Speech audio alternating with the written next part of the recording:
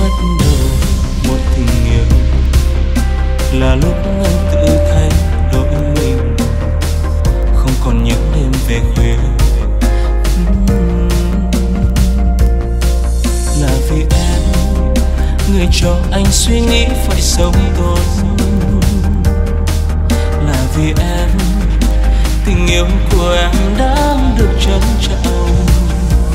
Thay vì phải xin lỗi anh muốn tự mình thay đổi. Anh sẽ lo lắng về anh như em đã từng